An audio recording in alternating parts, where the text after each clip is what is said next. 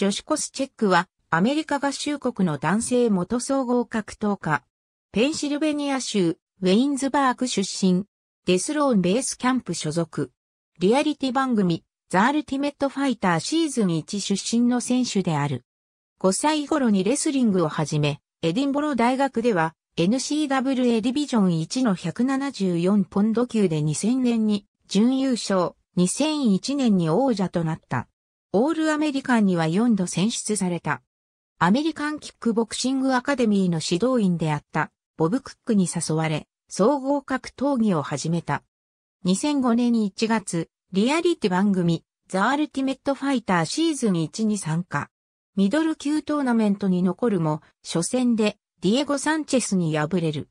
問題児であり、クリス・リー・ベンに水をかけたりしていた。UFC デビュー戦となる4月9日のフィナーレでは、クリストファー・サンフォードに小勝ち。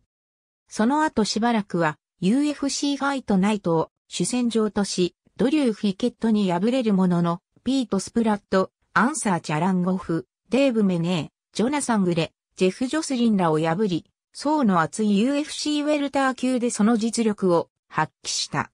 2007年4月7日、UFC69 でディエゴ・サンチェスを3から0の判定で下し、リベンジに成功した。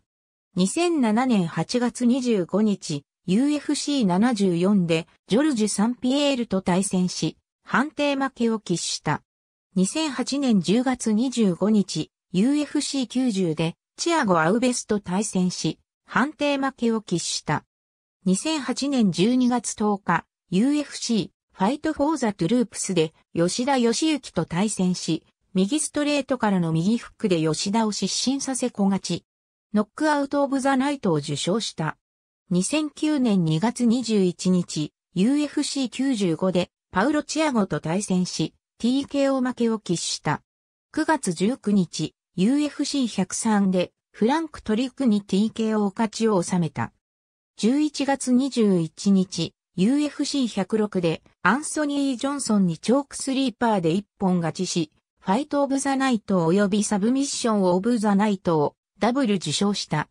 2010年5月8日、UFC113 でポール・デイリーと対戦し、判定勝ち。試合終了直後にデイリーに殴られるハプニングがあった。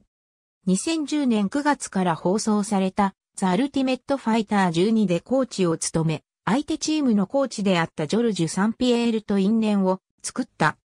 12月11日、UFC124 の UFC 世界ウェルター級タイトルマッチで王者サンピエールと3連3ヶ月ぶりに再戦し、何度も鋭いパンチを受け、0から3の判定負けを喫し王座獲得に失敗した。この試合はファイトオブザナイトを受賞した。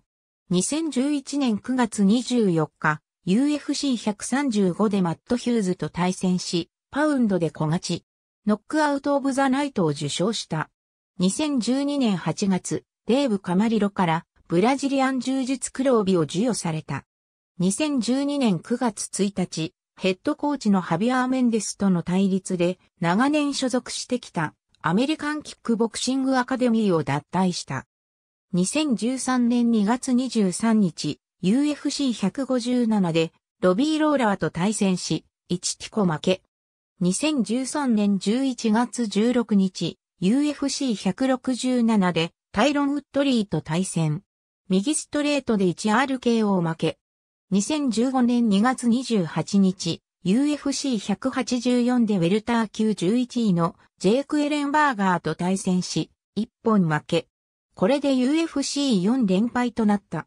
2015年3月21日、UFC ファイトナイト、マイア VS、ラフレアで、エリック・シューバと対戦し、1R にギロチンチョークで1本負け。